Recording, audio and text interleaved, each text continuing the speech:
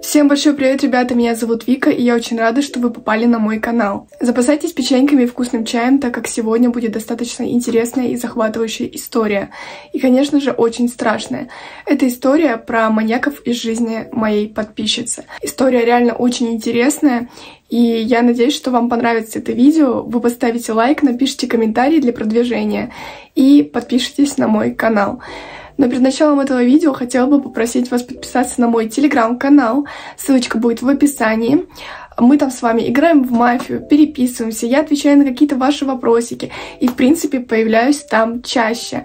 Я очень надеюсь, что вы подпишетесь и будете поддерживать и следить за мной и там. Еще скажу пару слов. Вчера должно было выйти видео про переписку с куратором синего Дальше вспоминайте сами. YouTube, к сожалению, забанил мне это видео. Мне очень жаль. Я постараюсь залить этот видос в мой телеграм-канал. Повторяю, ссылочка будет в описании. Видос получился, правда, очень классным, интересным. Я долго старалась над монтажом, над, в принципе, перепиской. Я нервничала там, сидела. Ну, в общем, очень жаль, что YouTube не пропустил это видео, и вы не сможете его посмотреть. Но я специально для вас снимаю сегодня другое видео, чтобы вы не расстраивались, что видео не будет. Я для вас стараюсь вас всех очень люблю. Надеюсь, что вы подписались, поставили лайк, подписались на мой телеграм-канал. Ну а мы начинаем. Что ж, теперь я отхожу от веселой и развлекательной темы, потому что истории действительно очень жесткие. А также, кстати, в, подписчица скинула мне эту историю в мой телеграм. А, если у вас есть какие-то истории про маньяков, то кидайте мне их туда. Меня зовут Алина. Эта история началась еще в 2017 году. Я познакомилась с мальчиком в Леонардо да Винчике.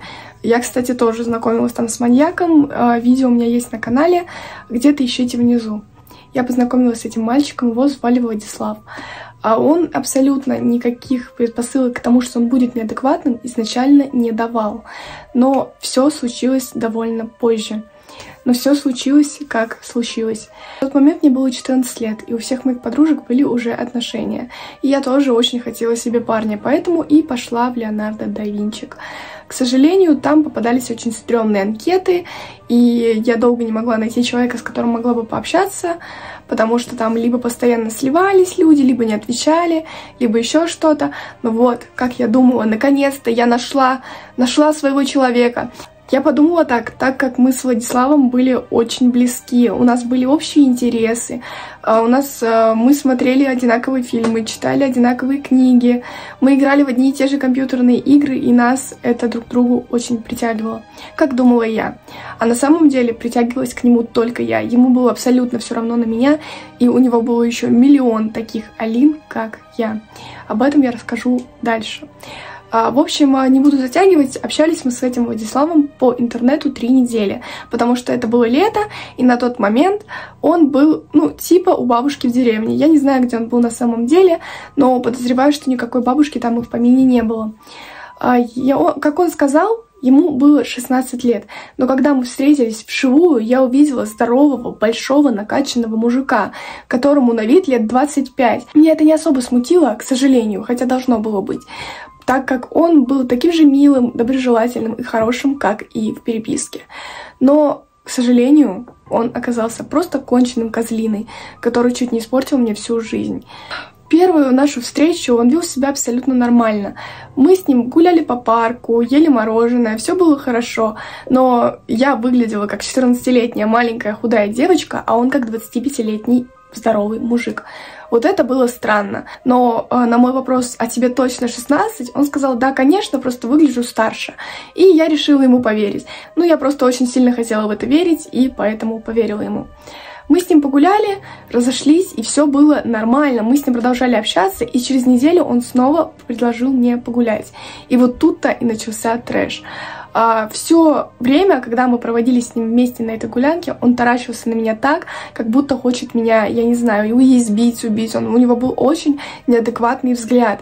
Меня это насторожило и напугало, и я спросила, а все ли у тебя хорошо? Он отмахнулся от моей просьбы и просто ходил молча дальше. Все мои вопросы он отвечал очень сухо, и меня это насторожило. Я подумала, что я ему перестала быть интересна, так как и в переписке он тоже очень плохо со мной общался. Он то выходил из сети, то заходил, писал что-то на отвали и снова выходил. Я очень переживала по этому поводу, потому что этот Владислав мне реально очень понравился. А, и а, в конце концов, после вот этой второй нашей встречи, он вызвался проводить меня до дома, так как было уже поздно. На минуточку время было 16.00. И это как бы не поздно. Но я как маленькая наивная дура, решила, что вау, это круто, как в кино меня проводят до дома. Но, к сожалению, все оказалось совершенно не так. Этот Владислав проводил меня прямо до квартиры, то есть он знал мой адрес, он знал мой подъезд, он знал мою квартиру. И меня это не напугало. Я наоборот подумала, что типа вот прикольно, он может меня теперь еще и встречать.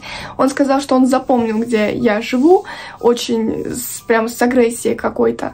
Ну, я подумала, что может быть у него что-то случилось в жизни. Но, к сожалению, это все было просто моя фантазия. Я там уже с ним и семью, и детей нафантазировала. Ну как мы, девочки, все это любим. Самое страшное начинается сейчас. Ночь.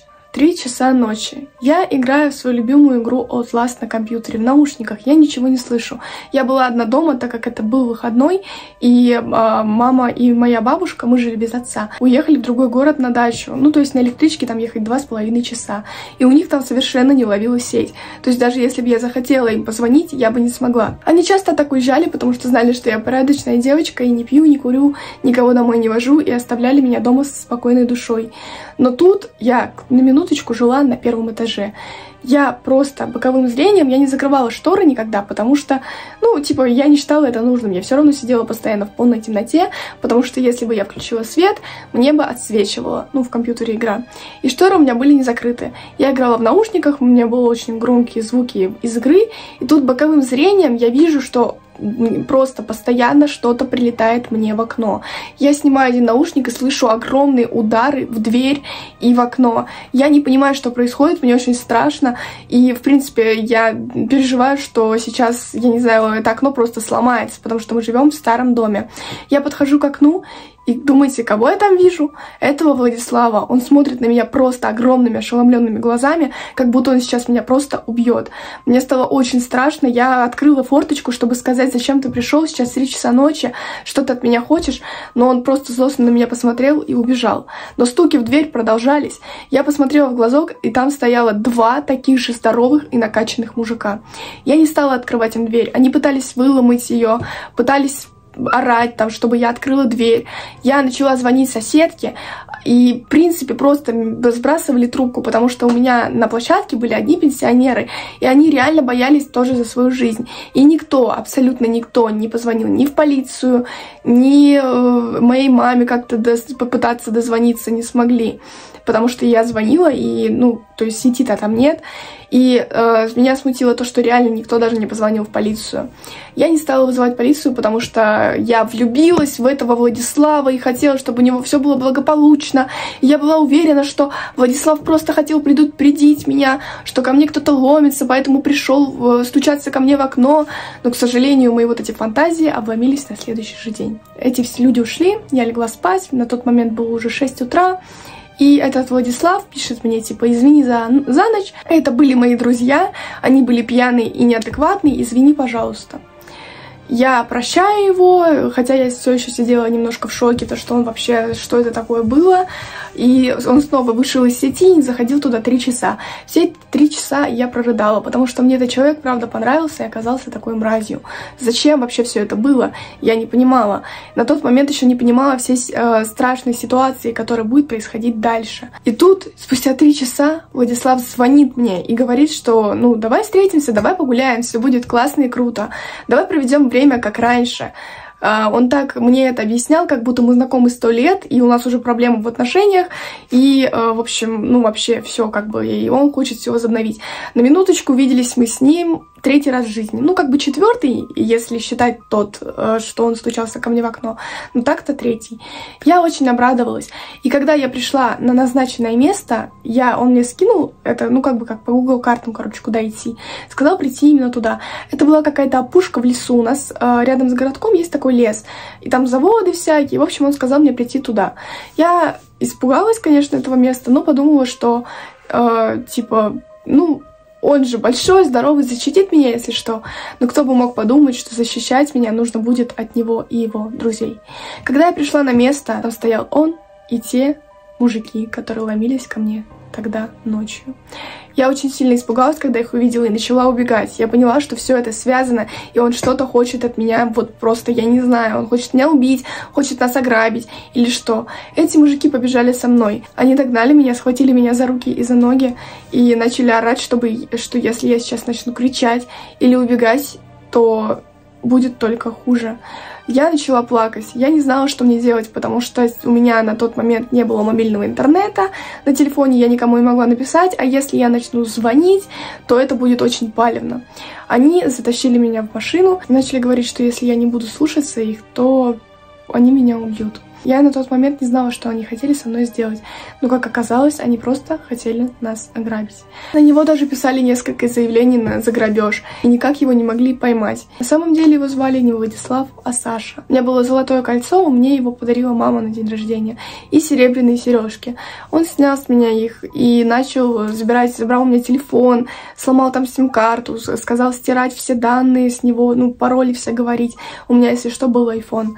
Я, конечно же, все отдала, чтобы вот, не дай бог, меня только не трогали. И они, слава богу, меня отпустили. Но сказали, что если я хотя бы заикнусь, они знают, где я живу, и будет только хуже.